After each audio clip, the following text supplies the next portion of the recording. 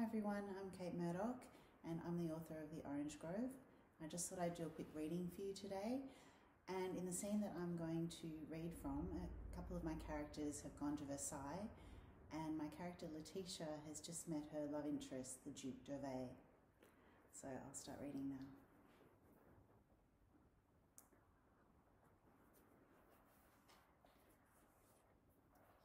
Letitia ventured a question of her own.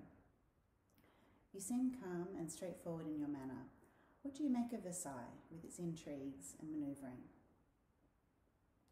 The Marquis laughed softly. It's hellish. The women are conniving and shallow. The men jostle day and night to be close to the king. They would sell their families and their souls for a royal appointment. I've been here for six months, and it seems six years. I'm attempting to obtain funds to rebuild a village near my family's estate in Chartres, which was razed after an uprising. If it weren't for this cause, you would not be conversing with me. This court is a den of rats, mademoiselle. Letitia's eyes twinkled.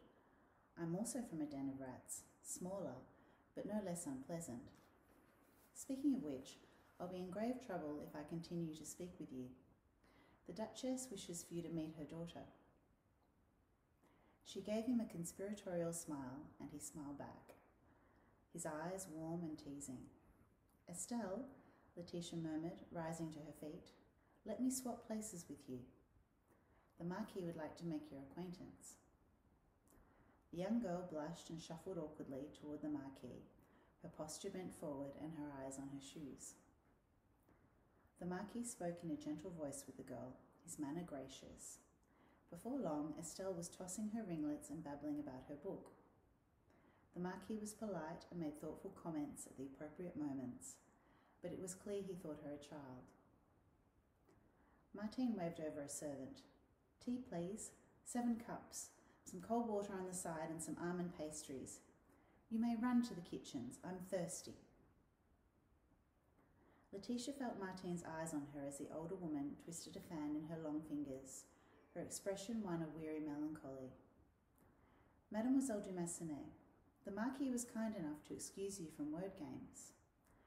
I can see intelligence in your face, and I would like to converse with you in the manner of the court.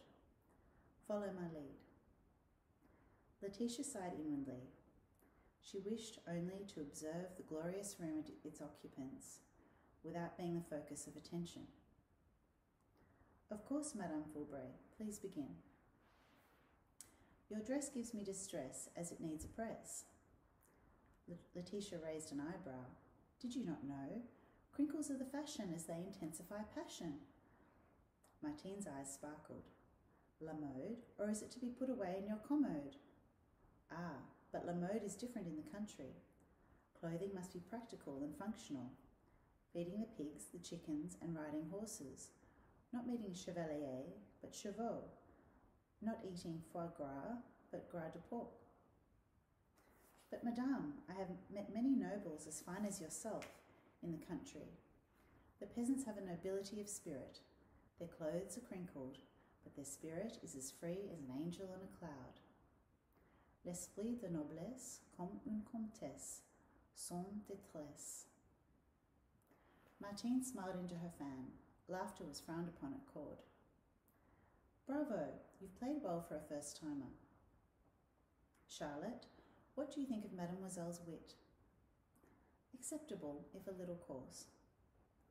The Duchess accepted a small teacup from a hovering attendant. Wit is but one musket in an arsenal. Yet without rank, what use is it? Henriette frowned. It is my belief, Your Grace, that rank should be used to assist those less fortunate, not to deride them. Always the moralist, Henriette. I was merely making an observation, not being derisive. Henriette glowered but did not respond. The court ladies leaned forward on their chairs, eager to catch Henriette's retort. Letitia understood, in her friend's resigned expression, that she would not so entertain them. At that moment, Romain de Villiers swept into the room, tossing his hat to a nearby servant and scanning the room for familiar faces. He seemed relaxed, as if visiting the palace of the king was something he did every day. Spotting the ladies of the d'Amboise household, he came over and sat down. Martin greeted him with a coquettish tone. Monsieur de Villiers, how charming to see you. The Comtesse de Vaubert was asking after you just yesterday. She said you gave an intriguing reading the last time you visited. Now, who have you not met here? The three court ladies had not made his acquaintance and extended their hands for him to kiss. Letitia watched as he stood and flirted with them all before taking his seat. Henriette resisted rolling her eyes as she watched Romain's languid performance. Women, it seemed, were often susceptible to his charm. Even the Duchess, who was reserved with men, softened her expression and sat straighter when he was near. Romain seemed to sense this and positioned himself next to her. On his other side, the court ladies did everything but prod him with their fans to gain his attention, pestering him for readings. He smiled and gave vague promises of fitting them in, accepting a cup of tea from Martine. You'd never guess who I saw on my way here. He waited until all eyes rested on him. Do you remember Gilbert Franchet, the singer? Just a year ago, he was in this very room, enchanting us with Italian arias. Well, I saw him on the back of a farmer's cart, sitting on a bale of hay with a pitchfork. I waved at him, but he pretended not to know me. Shame, really. I suppose he could sing as he herded sheep. Laughter almost breached the sanctity of the Salon de la Paix. The women's tightly bound torsos shook with half suppressed amusement as they imagined the fallen singer. They hid their smiles behind their fans. Henriette spoke, shaking her head. I remember Monsieur Franchet well. He's a good family man and a wonderful talent. His fall was a result of generosity to his swindler of a cousin, Monsieur Vaumet. Monsieur Franchet paid the legal fee so Vaumet could avoid prison. His ignominy is no laughing matter. Ill fortune can beset anyone. The Duchess let out a loud exhalation. There she goes again, Saint Henriette. Do you even have a sense of humour? I do. Perhaps I would laugh if it were you herding sheep, Your Grace. What a splendid sight that would be. The Duchess smiled, but her eyes were like splinters of blue glass. I cannot imagine you herding sheep, Your Grace, Romain interjected. However, Madame d'Augustin is right about the singer. I have read the tarot for a number of years, and all too frequently those in exalted positions have the most spectacular falls. To mock such a descent is to encourage fate to similarly smite us. I shouldn't have told that story. We are fortunate to sit here among human gods, drinking the most delectable tea and feasting our eyes upon the delights of this salon.